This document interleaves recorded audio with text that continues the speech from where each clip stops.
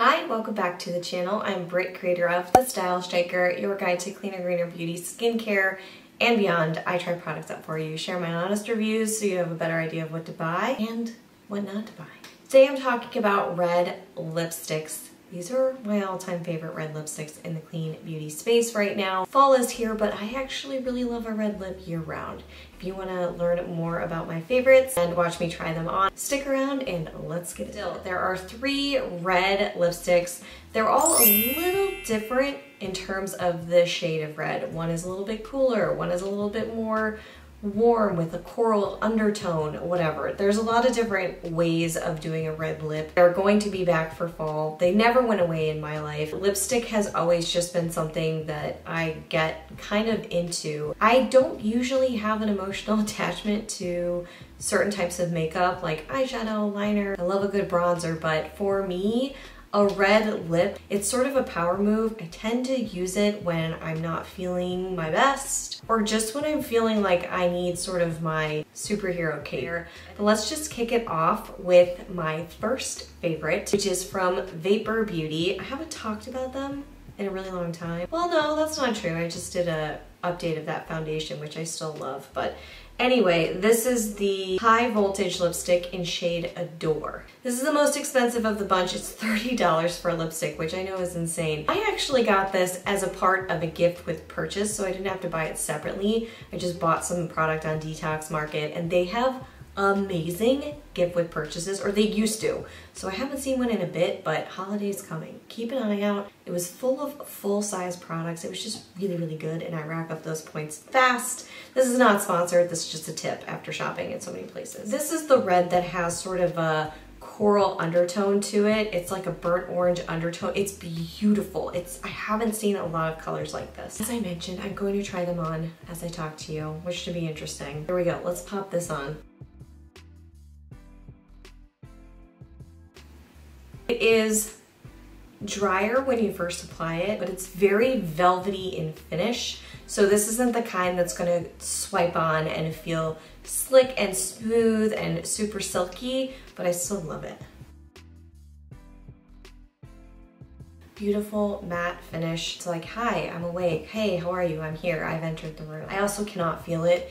Incredibly lightweight in terms of lipstick and a very little amount goes a long way. The only thing is it's not super forgiving upon application. So if you wanna use a brush, that's fine. On the flip side, transfer is really not that bad, although I mean, it looks really bad actually on camera.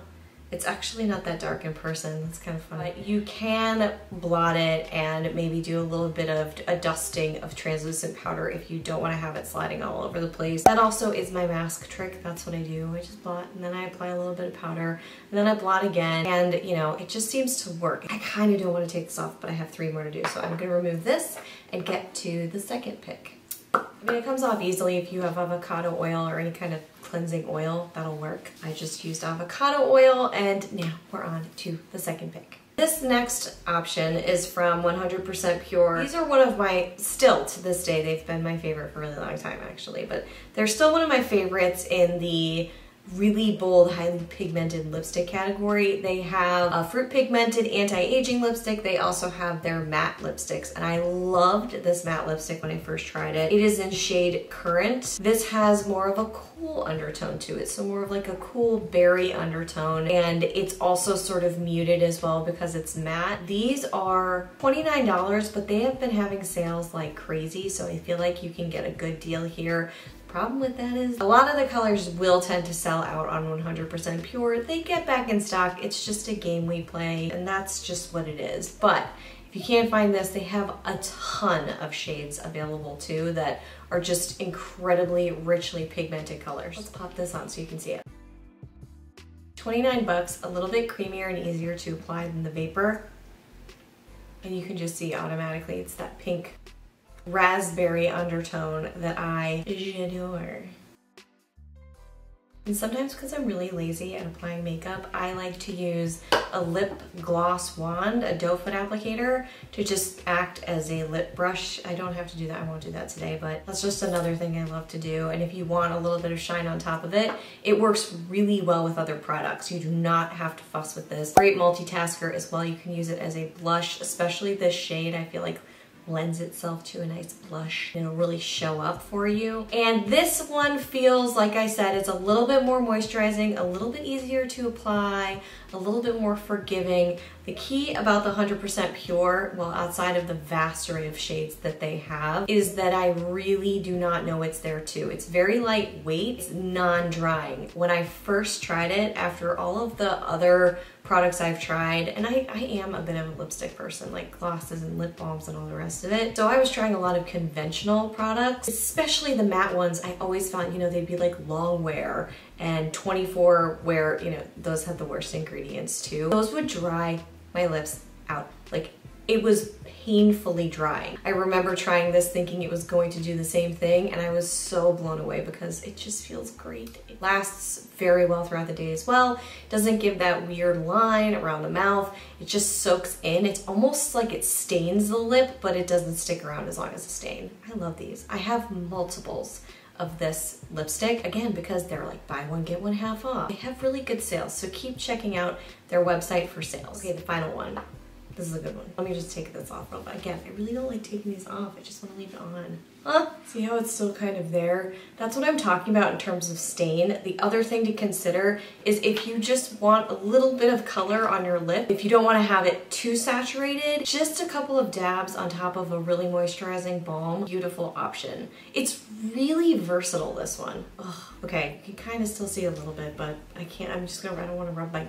lips off my face. So let's move on to the final favorite. This is from a brand called Red Apple Lipsticks. I was gifted a ton of colors and I'm so glad I was because I went crazy over this brand.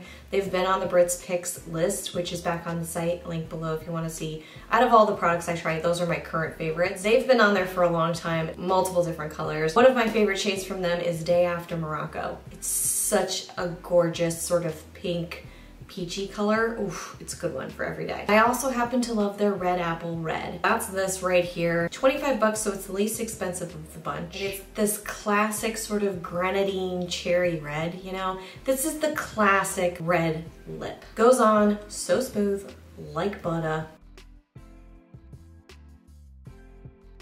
It feels the most moisturizing out of everything that I've tried. It is not matte, that's why. It has a different type of formula, different type of performance, so I expected that. This red is just, it's just, it's just. It feels a little bit heavier on the lip, but it's far from heavy. It's just compared to the other two that I've tried. It feels like it is moisturizing my lips and providing really beautiful saturated color. This is just a gorgeous, it's just gorgeous. I highly recommend that you check out their other shades. They're really, really beautiful and they always feel good and they've lasted for a long time. I know you don't want to use these things forever, but oof, they feel good. It does smell in a very subtle way like the lipsticks used to smell. You know what I mean? Very, very subtle.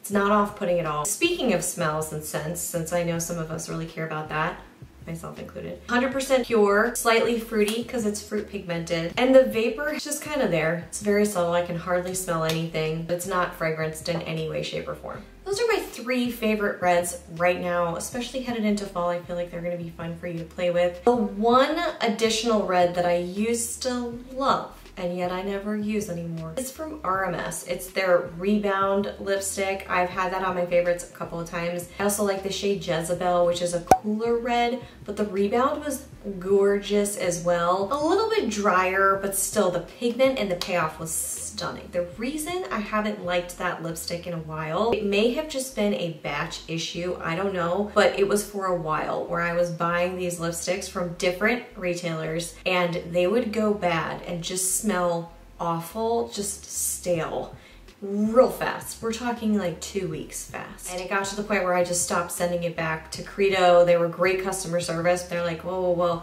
let us know the batch number. Okay, we'll send you a new one. And every new one I got, it just went bad so fast. And for the amount of money, it just was like, why am I doing this? I have great options without this. I haven't tried them in a while. I don't know if they're any better because I've been a little bit hesitant to go back in that direction. But these three, they're great. And I feel like you get the most versatility from the 100% pure. If you want to invest in something but you want to get a lot of wear out of it for that amount of money, I highly recommend this. And that's pretty much it. That's all she wrote. Mwah. If you have a favorite red lipstick, do share in the comments below. I would love to know. Right, I'm gonna go put these away, get back to testing, and I will see you all right back here real soon. Until then, bye.